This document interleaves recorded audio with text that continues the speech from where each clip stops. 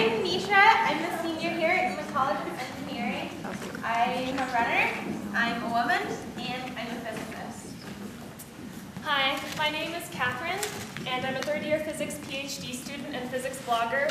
I love reading literature, I'm a woman, and I'm a physicist. Hi again. My name is Liz. I'm an African American. I'm a woman and I'm a physicist. Our voices are loud, but our numbers are 46. the percentage of AP physics students who are female 20. The percentage of undergraduate physics degrees awarded to women. 13. The percentage of PhD physics degrees awarded to women. 8. Eight. The percentage of full faculty in physics who are female Our numbers have been published. But what's the story behind them? Do you remember why you wanted to study physics? Well, I've always loved math and astronomy, but when I entered high school, I had no clue what physics was. My junior year high school, um, in high school, physics was required, so I entered the class not really knowing what to expect. Uh, the high school I went to is a Science and Tech Magnet School in Alexandria, Virginia, Thomas Jefferson High School for Science and Technology. It's been ranked the number one high, public high school in the country for like three years in a row. So you'd think, oh, she likes math and astronomy, goes into this like number one physics class, she's gonna come out just be like, physics! Well, not quite. I felt really dumb in that class, and the teacher was really used to just having smart kids, so he didn't have to put much effort in teaching, and we would just do the work and still all get fours and fives on the AP. So I was like, well, I guess if I want to do engineering, I needed to just stick with physics. So I took AP Physics, and then I came here for physics or for engineering. But during my freshman year, my engineering classes were kind of really boring, and then my electricity and magnetism physics class was really fun. So I just kind of kept sticking to physics, and that's how I got where I am now. So I actually had the opposite experience from Neesha. I really enjoyed my high school physics class, and basically I've always really loved math, and when I started high school, um, I thought science was probably where I wanted to be, that math really wasn't quite enough for me. And in my high school, we started with biology and then chemistry, which especially at the high school level, don't have a lot of math in them. So I was kind of like, "Eh, I don't know about the science thing. But my first day of my AP Physics class um, was really wonderful. My teacher started the class by holding a gigantic textbook over his head and asking us what would happen when he let it go. And we stared at him like he was, he was crazy because we're like, it's just going to fall to the ground. Why are you asking us this silly question? And um, he's like, well, let's think outside the box a bit. I mean, you know, would we be able to know if we all rushed up with the ground to meet the book? Um, what if they were rushing towards each other? What if it somehow flew around the room first and everything was moving relative to it? Would, would we know any of these things? And just took us on this great journey into kind of how do physicists think and what does it mean to be a physicist? And I was hooked. My story started a little earlier than they did. I was in sixth grade, and there was one chapter in this book about atoms. And so before then, we studied the sun, we looked at plants, they looked nice and green. and then we were talking about atoms, and then I thought, wow, atoms? I'm made of atoms? How is that possible? They're little things. I tried brushing them off. I just couldn't imagine. I mean, uh, atoms are building blocks of everything. How's that possible? It just kind of blew my mind in a way that kept me interested. And it was only about two page, well, I guess six pages of that chapter talking about atoms. And there was a paragraph about fission and fusion. And so I went to the library at that point, and I started reading about the, about, um, what were the Manhattan Project and the, the bombs. And then at that point, actually, so some of you may not remember this, but not everyone had internet. so, so I actually went to the library so I could go online. Um, and, I, and I would just read all I could about modern physics and how I just thought, wow, it's so cool. I wish I were born in 1900 and I could have discovered like the neutron or something. It's so cool. And so around that time was the science fair, and I said, well, I'm not going to make one of those volcanoes, like the little the vinegar baking soda incidents. Um, I'm going to talk about nuclear fission, nuclear fusion. So my teacher didn't know what I was doing at all. She really didn't. But I said, I set up a pool table to describe fission, like atoms breaking apart, releasing energy.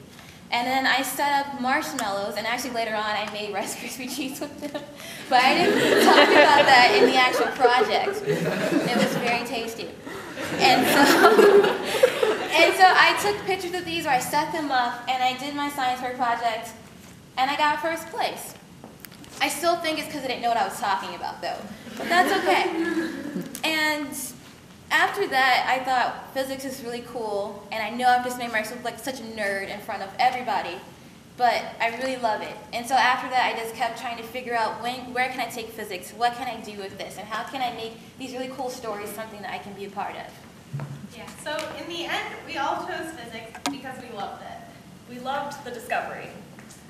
You know, I'm getting this impression from all of us that we think of physics as the one ring that rules them all. like precious. oh, and all of our physics classmates, it's like the Fellowship of the Ring, kind of. When you take quantum homeworks. Okay, never mind. Okay. All right.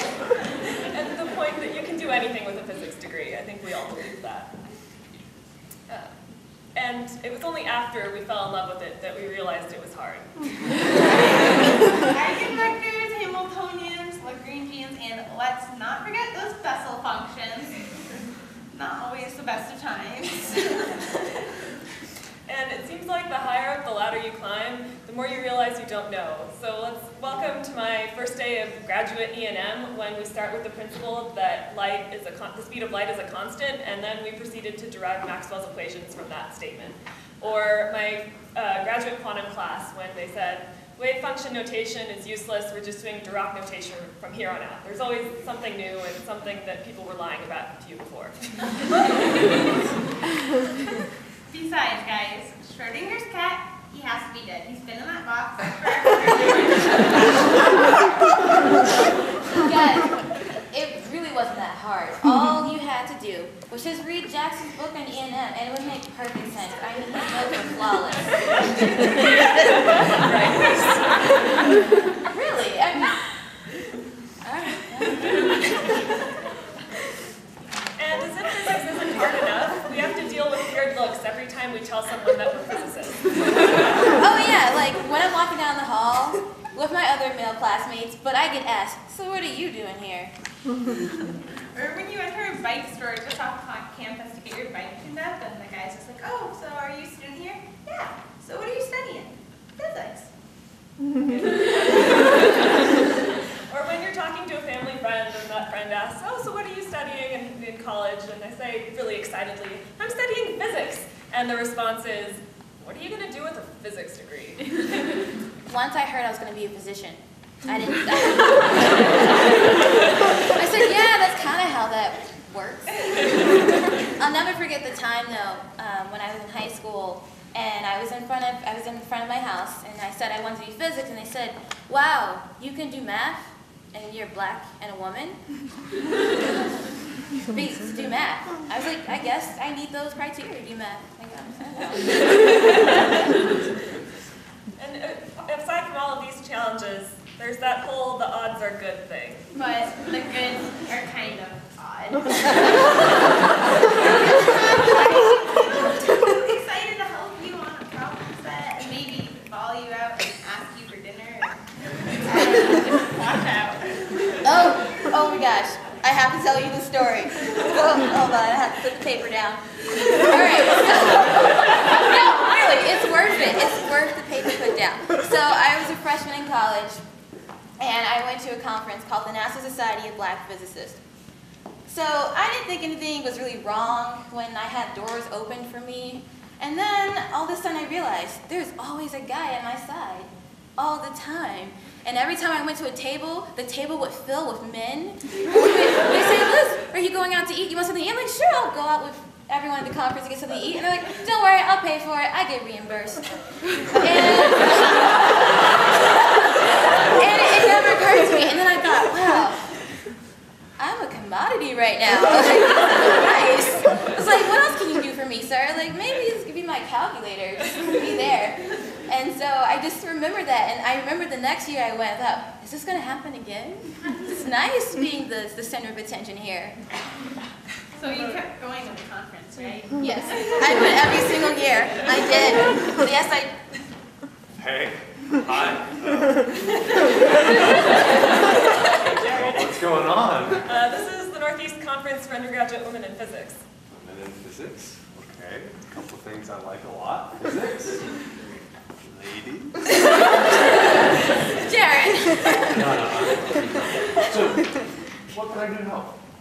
Well, I guess we do have some suggestions for you. Uh, to start with, like when we're working on problem sets, you could invite us to come join you guys. Yeah, and then also understand that the way you might feel now, being one of very few men in a room, is actually how a woman feels anytime she's walked into a classroom, um, worked with any collaborators. It's just as how it always is on the other side of things. And we also hope that you can understand that if we're ever hesitating to contribute to a discussion, that, that doesn't mean we don't understand it or, or incompetent in some way. Yeah, and that women are statistically less likely to sort of vocalize their opinions or state questions in the same way that a man does. So just because we do things differently, it doesn't make it less legitimate. We know we need to work on being more assertive, but we also ask if you pay more attention to what we say rather than how we say it. I guess really most of these slights are subtle and unintentional, but I think it's important to acknowledge their existence. Yeah, I should definitely keep that in mind. Well, now I know the numbers we talked about earlier seem daunting. Well, we could spend our time, and that's why the numbers are still so low, and they're still so low after all these years. Instead, let's focus on the opportunities that lie ahead. Nineteen. That's the number of organizations that are sponsoring this conference tonight. 25. The number of faculty who volunteered their weekends to show their support of this conference. 166. The number of undergraduate physics majors at this conference. 987. The number of undergraduate women in physics sitting in auditoriums at similar conferences across the country at this very moment. By being here this weekend, you've made our numbers larger. And our voices are 166 people stronger. We've shared our experiences with you, and now we look forward to hearing about your experiences. Thank you.